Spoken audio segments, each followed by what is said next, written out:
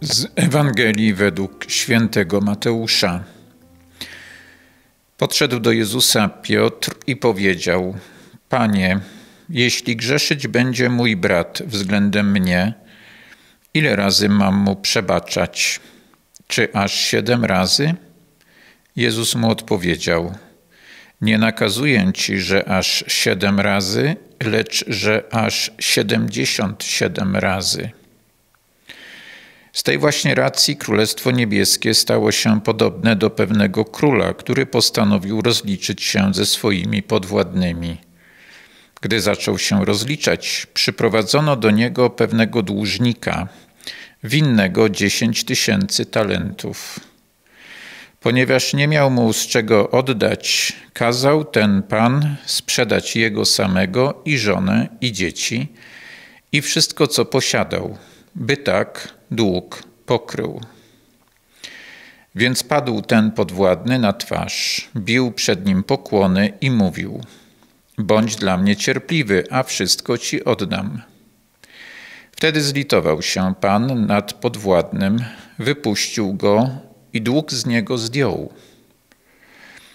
Po wyjściu spotkał ów podwładny kogoś tak samo jak on, podwładnego, który był mu winien sto denarów. Złapał go wtedy, przydusił i powiedział: Zwróć coś winien. Upadł ten jego podwładny na twarz i prosił go: Okaż mi cierpliwość, a zwrócę ci. On jednak nie zgodził się, lecz poszedł i kazał go zamknąć w więzieniu, aż odda dług. Widzieli to wydarzenie inni jego współpodwładni i bardzo się zasmucili. Poszli zatem i przedstawili swojemu panu wszystko, co się stało.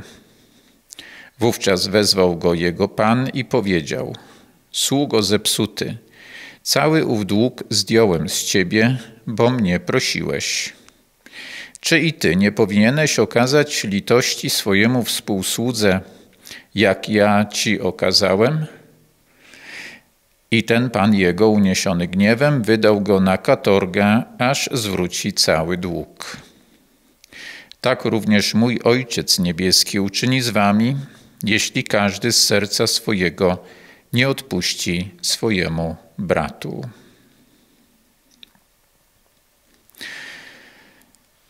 Dla mnie ta dzisiejsza Ewangelia jest przede wszystkim Ewangelią o Bożym miłosierdziu. Bo jeśli Pan Jezus mówi, że mamy przebaczać nie siedem razy, a 77 razy, no to mówi tak dlatego, że On sam tak postępuje. On jest pierwszym, który nie przebacza siedem razy, a 77 razy. Zresztą to pytanie Piotra wzięło się pewnie z tego, że kiedyś Pan Jezus powiedział, że jeśli ktoś zgrzeszy przeciwko Tobie, przebacz mu i nawet y, jeśli dalej będzie y, grzeszył, to mu przebaczaj y, nawet siedem razy. I, I kiedy Pan Jezus to mówił, że, że, że, że nawet siedem razy mamy przebaczać temu, który przeciwko nam coś zrobił, mm, to pewnie y, liczył na to, że y, zostanie to zinterpretowane przez uczniów, że po prostu w nieskończoność zawsze. Zawsze mamy przebaczać.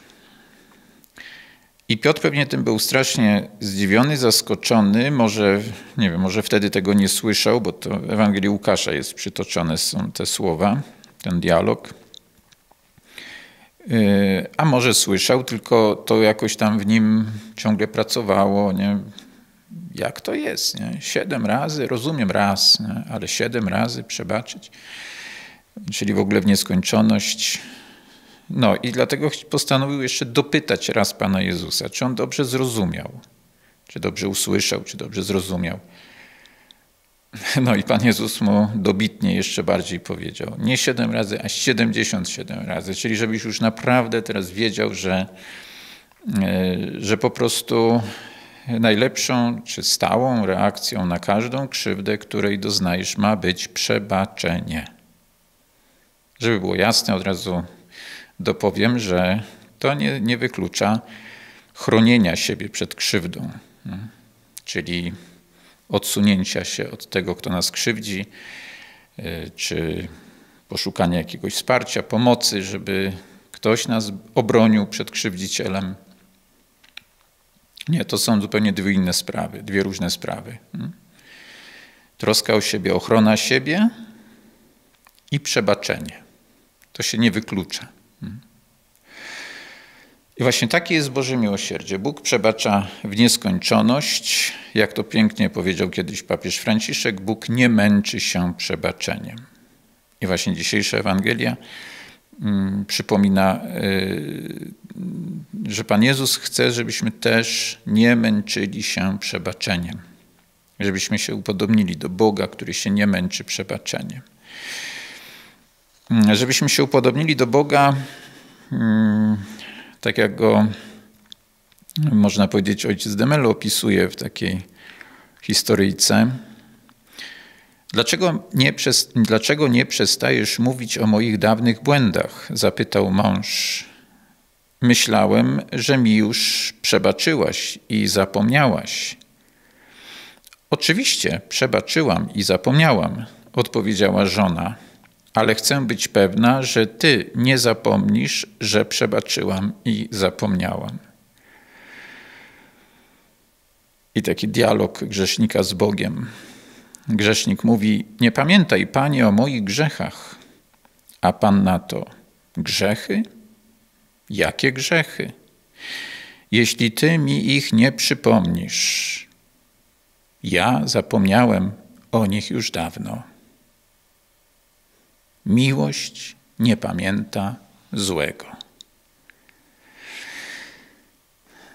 Oczywiście tu, tu nie chodzi o to, że, że powinniśmy no, yy, zupełnie zapomnieć wszelkie krzywdy, które nam ktokolwiek uczynił, bo nie mamy takiego narzędzia. Ja przynajmniej nie umiem, nie, tak, nie mam takiej gumki nie do wymazywania pamięci.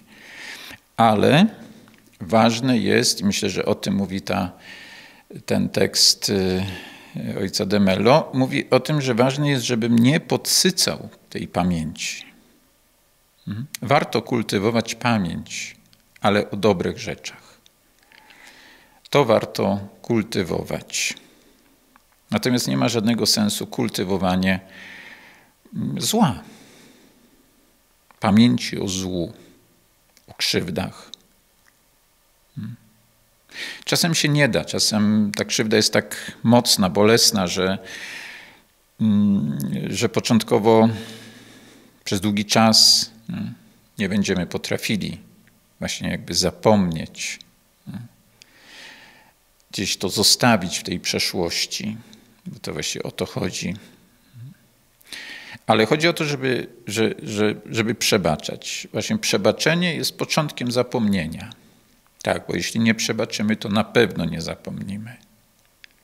Myślę, że przebaczenie jest trochę takim sposobem na zapomnienie krzywd. Tak, przebaczenie. Oczywiście y, to jest też dość ważne, że przebaczenie mm, wymaga uznania, że zostałem skrzywdzony.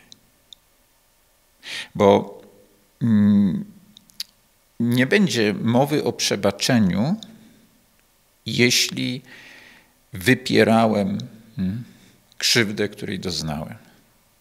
Jeśli mm, mówiłem sobie, że, że ten ktoś miał prawo, albo że ja go sprowokowałem, że byłem winien, że byłem odpowiedzialny za to, co ten ktoś za to, że ktoś mnie skrzywdził. Bardzo ważne jest zobaczenie winy drugiego człowieka, właśnie tego jego długu. Bardzo ważne jest zobaczenie. Jak ten człowiek został wezwany y, do, do zwrotu długu, hmm, do zwrotu tych dziesięciu tysięcy talentów, to, to ten y, wierzyciel jego, ten pan, y, nie kombinował, nie mówił, ach, pewnie ktoś się pomylił, to niemożliwe, żebyś ty miał taki wielki dług. Mm, nie, nie, zero kombinowania. Jest dług. I tak samo, nie, jeśli mówimy o, o tym, że ktoś nas skrzywdził, skrzywdziłeś mnie. To była krzywda. To było wielkie zło. Często właśnie dzieci względem rodziców nie mają taki problem, żeby uznać, nie? że rodzice mogli mnie skrzywdzić. Tak, bo to dziecku się w głowie nie mieści, że rodzic może skrzywdzić dziecko. To, to, to, to się żadnemu człowiekowi nie mieści w głowie, a tym bardziej małemu dziecku. Więc może być ten mechanizm takiego wyparcia, jak to mówimy, nie? zaprzeczania, że, że, że, że byłem skrzywdzony, że zostałem, zostałam skrzywdzona. Y, I, I nie o to chodzi w przebaczeniu. Przebaczeniu chodzi o to, żeby to zobaczyć, powiedzieć, nazwać, jak to mówimy, nie owijać w bawełnę, ale przebaczyć. Powiedzieć, ok, było, minęło. To należy już do przeszłości. Y, zastanowię się, co teraz mogę zrobić razem z tym kimś, jeżeli on, nie wiem, jest i chce jakoś mi zadośćuczynić, albo zupełnie już nie, poza nim, bez niego, bez jego udziału, nawet nie chcę albo nie mogę, po prostu ten ktoś już nie żyje. Hmm. Więc zupełnie bez jego udziału, z udziałem Pana Boga, z udziałem Pana Jezusa. Co ja mogę zrobić, żeby, żeby zaleczyć tę ranę? żeby usunąć tę krzywdę. Hmm. Co, co ja mogę zrobić? I na tym się warto skupić, a nie na właśnie na rozpamiętywaniu tej, tej dawnej krzywdy. Stało się. To, co pomaga, jeszcze może jedno zdanie, nie? to, co pomaga yy, przebaczać, to jest świadomość tego, że jeżeli ktoś kogoś krzywdzi, to robi to dlatego, że w danym momencie y, nie umiał inaczej, nie miał sposobu na to, żeby lepiej, nie krzywdząc mnie, nie krzywdząc kogoś, żeby zaspokoić swoje potrzeby. Po prostu w danym momencie nie umiał, nie miał sposobu. Y, tak, to właśnie, właśnie to, że my Często nie, nie umiemy zadbać o siebie, nie krzywdząc innych. To powoduje, że się wzajemnie krzywdzimy. To oczywiście w żaden sposób nie umniejsza jakby nie, tej krzywdy, która jest faktem, ale może pomóc przebaczyć. Czyli mówiąc inaczej, Y, chodzi o to, żebyśmy pomyśleli, że jeżeli ktoś mnie krzywdził, to on to nie robił przeciwko mnie, tylko robił to z troski o siebie. Tyle, że tą troskę realizował w jakiś strasznie idiotyczny sposób.